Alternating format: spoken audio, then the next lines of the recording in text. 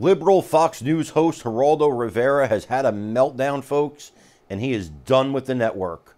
Before we get started, please make sure you like, comment, share, and subscribe.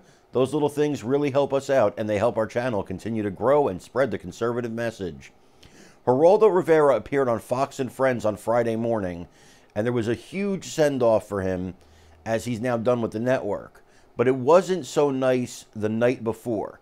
On Thursday night, Geraldo shook up the internet and the media world by announcing what actually happened that led to him being gone from both The Five and Fox News. If you'll recall, Geraldo initially said that he was fired from The Five, or he actually didn't say he was fired from The Five. He just said he would no longer be appearing on The Five, but would be staying at the network as a correspondent at large. Well, Thursday night, he had a meltdown. It was all on the table. He absolutely left nothing to the imagination. He let everybody know what happened. He said that he was fired from the five, and infuriated by that, he actually quit Fox News after it. It's rather interesting video, especially the location it was taken in. It was kind of not really professional, but let's take a look at it anyway. Off Jones Beach Inlet. See the tower? Very, very bumpy. Lumpy day, lumpy day out in the uh, North Atlantic Ocean. So off Jones Beach, heading for the World Trade Center, making pretty good time. Anyway, in the holiday rush hour traffic, I'll probably go faster on the boat than you would uh, trying the Long Island Expressway. So it doesn't look like I'm going to be on the five. I mean, I'm not going to be on the five.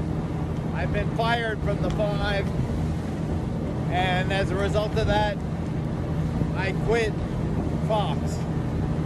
So I'll have more to say about that on Fox and Friends tomorrow morning. Thank you. Now, I'm not a fan of this. If you get fired from a network or you leave a network, you should do so on professional terms.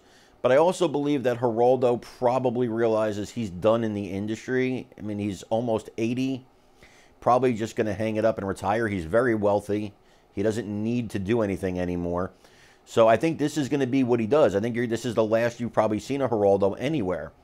Now, that being said, again, I don't like the way he handled it with the video. However, on Friday morning, he was all tears and emotional as Steve Doocy and the hosts of Fox and Friends, you know, paid tribute to him. And they also showed a montage video of Sean Hannity, Jesse Watters, and a host of other hosts and Fox News personalities wishing Geraldo well and telling them how much he, they love him and what an influence he was on them.